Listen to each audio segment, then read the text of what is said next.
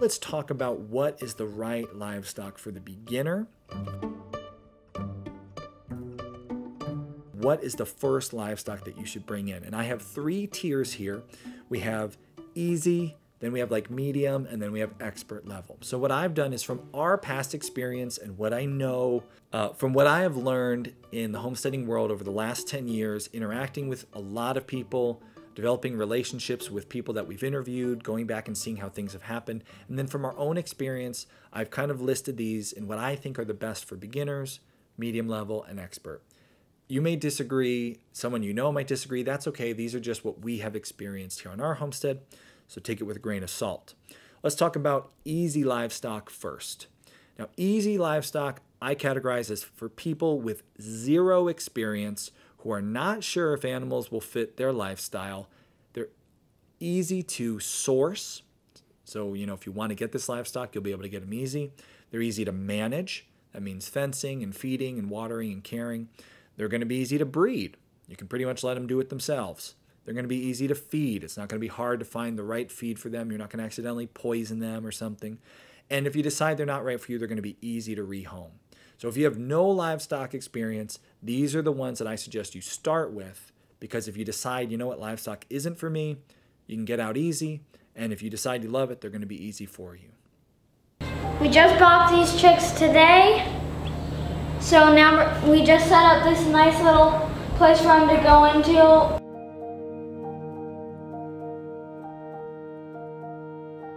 You cannot not say chickens are the best beginner livestock. They are just the best. There's no way I can uh, rationalize any other choice for your first livestock. You can order as little as three of them online. They can be here after you order them within a matter of weeks or maybe even sooner. You can literally just give them slop from what's left over in your house and they will turn that into more chicks and eggs. Uh, you can, if you decide you don't like them, sell them on Craigslist and they will be gone within a week. People like buying chickens. They're not too dirty, they're not too disease prone, they're pretty hardy, they're not very difficult. Someone you know probably has them and can give you some pointers, maybe even get you started with some good stock. Chickens are a great place to start. And if you get meat chickens, you can harvest them in as little as eight weeks. So you literally can make a two month project of your first livestock, see if it's right for you. And if you like it, you get into eggs. Six months, you're gonna have some farm fresh eggs from a chick, and sooner if you buy point of lay hens. Now, I'd love to talk for an hour about chickens, but I already have. There's a masterclass in the Pioneer Library, Chickens 101. If you haven't watched it, it's going to cover infrastructure, breeds, feeding and watering, the systems that we've set up, and a whole lot more. So check out that when this is over. That'll be part of your homework for the week. Let's move on from chickens. Ducks. Ducks are another good beginner livestock. They grow more eggs than chickens will. They grow more meat. They do it off of less. You're going to get more eggs throughout the year than you would from chickens. They do better in bad weather. There are so many reasons to upgrade from chickens to ducks. If you don't mind that they're messy, messy, messy, messy, messy animals. Now you can easily find ways to fix this, make it better. I got a video about how to make brooding ducks a lot less messy. Butchering them is a nightmare. Pulling off those little feathers is like, ooh, I will never butcher another duck myself. I don't like killing ducks. I think they're too cute. It's hard for me to kill a duck. I get in a really bad mood. But if you can deal with those negative things, the mess and butchering ducks, they are better than chickens. Now, we don't have many meat ducks or egg laying ducks anymore because I'm allergic to duck eggs and I don't like butchering ducks. So we don't have many on our homestead. So we decided the cons outweigh the pros of why they're better than chickens. But if you are not allergic to duck eggs and you like duck eggs, you'll get more of them. And if you like duck meat and you don't mind butchering them or you found a place that will do them for you, even better. Ducks are a great starting place. Another one you've seen on the channel as a new recent addition to our homestead is rabbits. They're one of the best self-sufficient meat options because it's very easy to take a doe and a buck and have them breed. Now there's a learning curve. There's a lot of people who have had a hard time getting their rabbits to breed and figuring that out. We have been very fortunate. You haven't seen it on the channel yet, but Homesteady Pioneers, you always learn things first in the live show because this happens in real time. Our rabbits already kindled. We got a bunch of little rabbits out there. We are doing a colony setup with our rabbits, which is like the most hands off thing we have ever done with livestock. We literally set it up, put them in there, pour feed and water in, and walk away, and they just made a ton more rabbits. And that's a lot of self sufficient meat that will keep going. It's very hands off approach. We're actually going to put a video out on that soon about the colony method because there's been a lot of questions on the channel about that. There can be a learning curve, uh, there can be mistakes made but they're not very expensive livestock to get started with. And if you make a mistake and something unfortunately, uh, you know, winds up with the breeding where it's not working out, you can replace them. You can eat the ones that don't work out and find new ones. So great starter place for livestock. Of course, if you're going to have them for meat, you got to be able to kill that cute bunny. That's yet to be seen how I handle that. I don't do very good with ducks. We'll see how I handle bunnies. So I uh, we'll see. That's coming in a future video. Let's talk before we finish up the easy tier. Let's talk about a couple different ones you might not have even thought of. This one my son's gonna love. Uh, if you have a body of water or are gonna add one to your homestead, fish are a great option for livestock. Fish are animals that if you manage and feed are very hands off. They're going to be more fish than the ones you put into the pond. And uh, if you do it right, you can have an unending source of protein that is very hands off, adds a bit of fun to your homestead. Just all around great addition. We're talking about putting a pond on the property because, man, it's really hard to beat fish for easy protein. The, the fish in the picture here is a bass, not my first selection. I'd have some panfish, but the pond in the back is on my brother's, my brother-in-law's homestead, and a nice little pond. He's been managing it, and it's full of fish, and they just keep every year more and more. So good option. And then another one that you don't see in the picture, but it's probably attached to the fishing pole, could be considered livestock, worms. You can take worms, you can do them in an apartment if you're in an apartment now. Feed them scraps, they create worm casings. You can use that to add nutrition to your gardens. And uh, so worms are another additional, you know, beginner livestock. Not super fun if you want something to pet and love on, but thought it was worth mentioning, something to consider and an additional source of protein on your homestead if you want to feed your chickens some worms, go catch a few fish from your pond, something that we have to consider. Now let's go to medium difficulty livestock.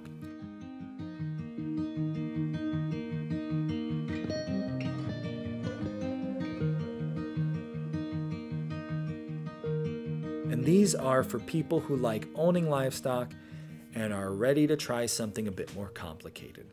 So, not necessarily a hard animal, uh, not something that's going to be a lot of effort and a lot of work and give you a really hard time, but an animal that you're going to have to have a little bit more stick to itiveness. It's going to be harder to rehome these animals, harder to source them in the first place. So, once you finally get them, you're going to want to keep them. So, once you get over the, the easy livestock and you're like, no, I like livestock, I like having animals, I'm going to stick to this, that's where these come in. So the first one, and this might surprise you, but hands down, I could argue this all day mini Jersey cows. These I almost put in the first level of easy livestock. The only thing that bumped it out was the fact that they are a more expensive animal, they're harder to source, and they would be harder to rehome.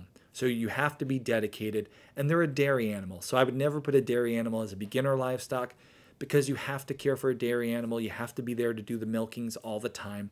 It is a lifestyle adjustment. So you have to know hey, I've owned chickens for five years. I've been there every morning and every evening for my chickens. I love that that lifestyle. I'm not I don't feel like it's a ball and chain. I'm ready to go to the next level. If that's where you are, then mini jerseys are such an easy animal if you're already accustomed to homestead life.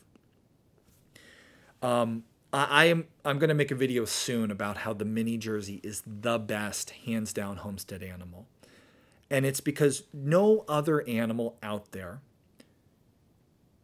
My son's giving me the thumbs down. He's saying, "Nope, chickens, Dad."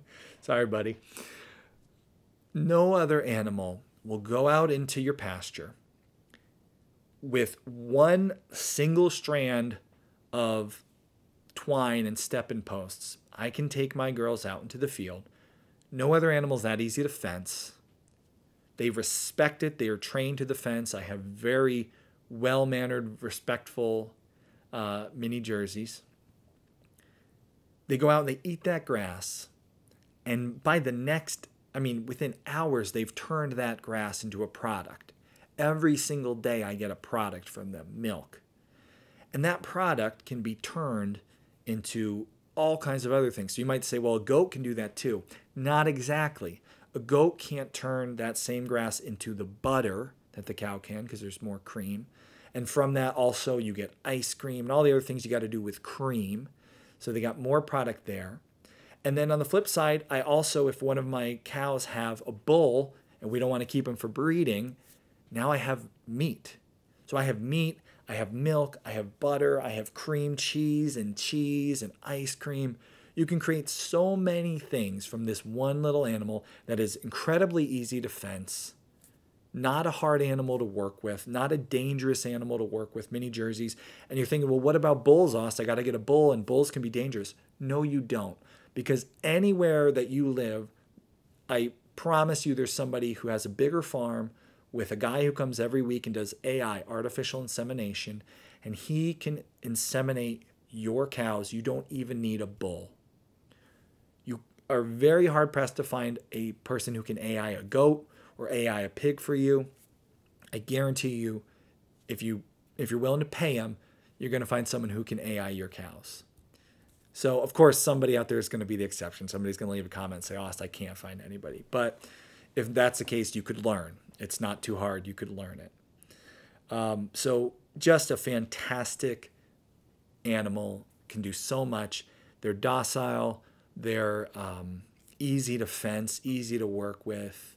I just I can't say enough good things about the mini jerseys.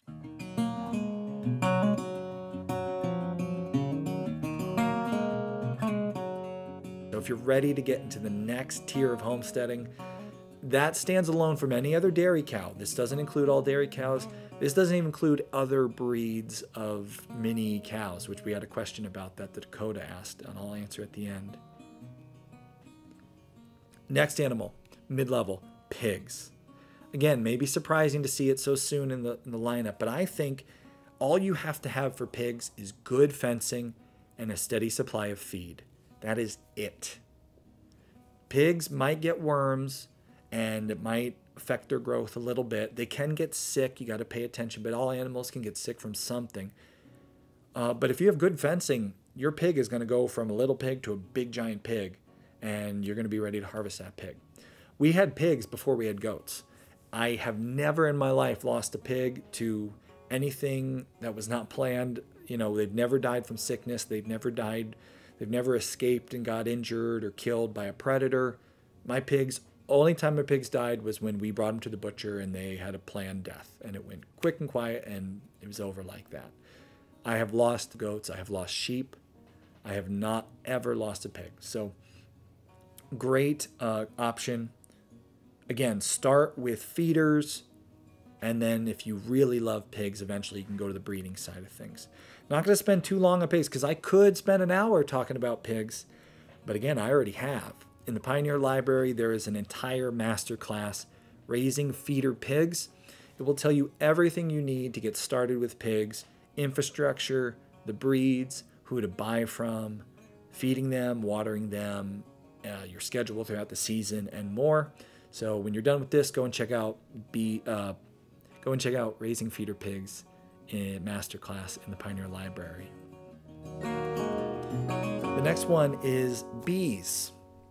Again, one that maybe we don't think of as livestock all the time, but definitely livestock.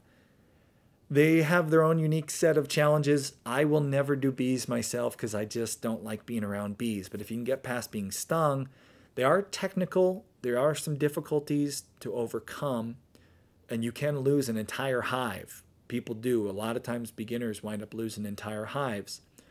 But there's no other livestock that you can give less daily attention to than bees, other than maybe fish, which we talked about. But bees, you can manage on a once every couple week basis, depending on the time of year. a lot of time of the year they're going to water themselves and feed themselves without you. Now that's not the case year round. You are going to have to supplement them and care for them through the hard times. But what other animal could you like take care of and then like go on a 2 week vacation and then come back and check on them and they're still good? There's very few animals you can get away with that. So for next level stuff, uh, mid tier bees are a good option. And then at the end of the mid level tier, we're going to put all turkeys, quail, pigeons, guineas, all the other fowl. Uh, they all have their pros and cons. Some they're not as easy as or as domesticated as chickens. Some are more wild. Some are harder to keep track of, uh, but they're all a good option for next level livestock.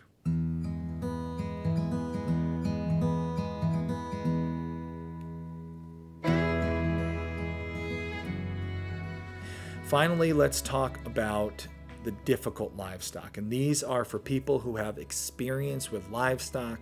You know that you're ready to take on breeding, more difficult veterinary procedures. You're going to be able to deal with the escape artists, all those kind of issues. So, the first in the more difficult livestock, I would put Nigerian dwarf goats.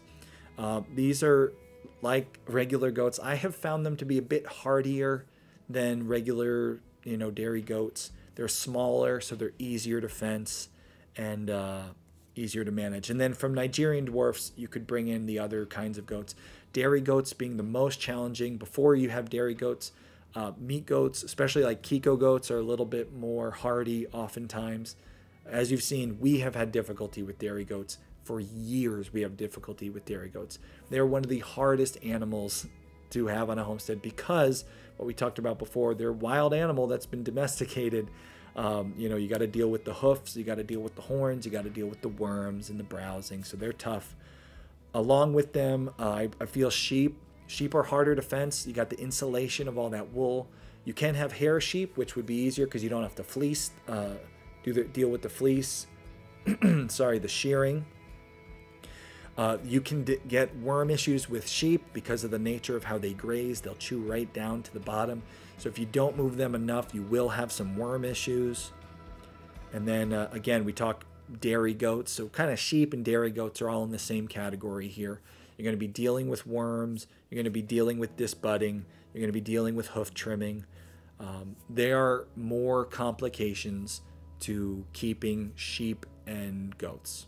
Just what we have found in all our experience, like I said, we've lost very few animals homesteading over the years. The ones we've lost have been sheep and goats. And to things they've poisoned themselves on forages, uh, things they weren't supposed to eat that we didn't know about, they dove right in and chewed up and ate. Uh, we've dealt with worm issues time and time again, even with chemical dewormers, even using chemical dewormers. We've had problems with them adapting the worm loads being so high uh, that the dewormers we were using were no longer working. So I really don't suggest you start with these livestock. Another one not good for a starter would be beef. Uh, bulls, you're going to need a bull. Now, again, you can go the AI route, but if you do have a bunch of beef, you're going to have bulls, which you can then cut the bulls so you don't have uh, all that testosterone in the animal and he's not trying to fight you. But if you are dealing with bulls or beef cattle in general, they are a larger livestock, so they could be more dangerous. Uh, they can be harder to contain, and even just handling and working with them. If you're new to livestock, don't start with beef. Uh, plus, beef take a long time to finish. So if you're not sure that you want to have livestock in the first place, and you get into beef, you're in a three-year project. And that's a long time to be dedicated to an animal that you're not really sure you want to do. So I wouldn't start with that. Again, I wouldn't start with full size production dairy animals. Also, if you're dealing with bulls with dairy animals, they can be just as dangerous. Now, you can do AI for full size, just like you can on the mini jerseys, so that makes things simpler there. Uh, but with full size dairy animals, the difference with the mini jerseys, calf sharing may not work for a full size dairy animal. Lots of production means you're going to have to milk probably twice a day. Mini jerseys, we can go weeks at a time without milking and then start milking again. Because they're a low production animal that adjusts to the needs of their calf, we can turn that switch on and off. We can have a life and still have a dairy cow. You cannot do that with a full size uh, production level milk cow. You got to milk that thing twice a day and be there every day to do that. And when you can't, someone else needs to be there. So it's very different than having like a mini Jersey in the backyard. And finally, uh, I put these animals here because I have zero experience, and uh, I'm not telling you that they're harder or easier. Don't forget, there's horses, there's camelids, there's donkeys. Uh, camelids include alpacas and llamas. Um, so there's a whole lot of other livestock out there. They are you they're larger. They have some unique uh, veterinary things to deal with, with the worms and that sort of thing. So they can be challenging animals. And uh, you know, anyone who grew up with horses is going to be like, "Oh, it's not a big deal." But to a newbie, it would be a big deal. So just putting that out there. We've talked about all the basic livestock options. Where do you go next? You go on over to our website and just give me a moment here. Uh, we've just finished up all the livestock. We've talked about all the golden rules. What do you do next? Where's your homework? The Pioneer Library is full of information about livestock. It is full. There are 16 pages here of different things that are mostly livestock. But I wanted to show you briefly as pioneers how it works, how you can find what you're looking for a little bit better. So if you want to, for example, listen to all the podcasts, you could click on podcasts if you want to watch just the videos. But then here we have by category. If you go by category farming, I have a lot of the livestock that we've covered a lot of its own category here. So let's say you want to see all the videos and listen to all the podcasts on chickens.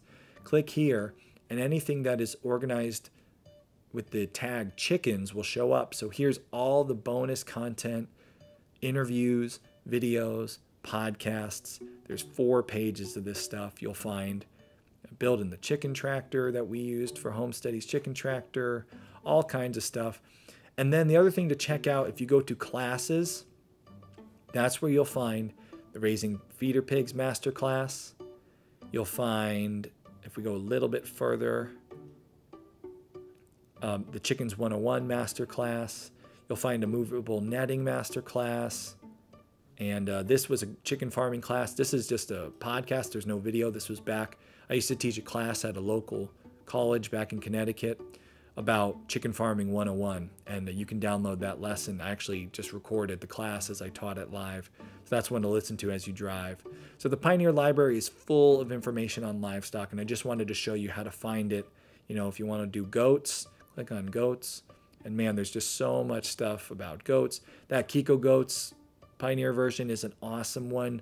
That's an interview with the guy who actually bred Kiko goats in the first place. He's the guy who named them and made them. This is how to make money with goats. So there's just a ton of information in the Pioneer Library that can help you get started with livestock and get to the next level with livestock. You look at that smile on Kay's face, enjoying her cow out there, uh, eating some hay and you know just having a nice life. I think every homestead would benefit from livestock. Every person would benefit from owning livestock. I know this because I didn't want livestock. I wasn't interested. And here I am, like raving about my favorite mini Jersey cows that I've just grown to love so much. They will make you a better person. They will teach you about yourself. They will teach you about sustainability. You'll they'll work your land like the good workers that they are, the best employees you could possibly have. You'll just enjoy watching them and spending time with them, but they are a responsibility. So start slow, start small. And how many should you get your first year? And then from there, how, how do you grow?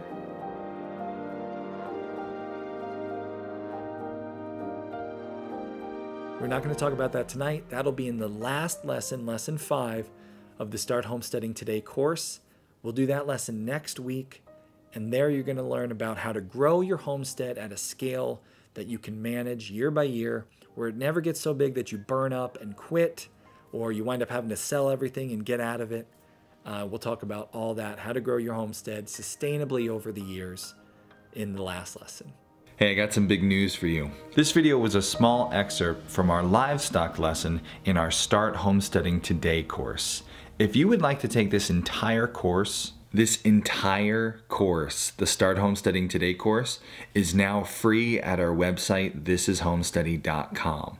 All you have to do to take this five hour beginner homesteader course that goes in depth in every topic you need to know about land purchasing, gardening, livestock.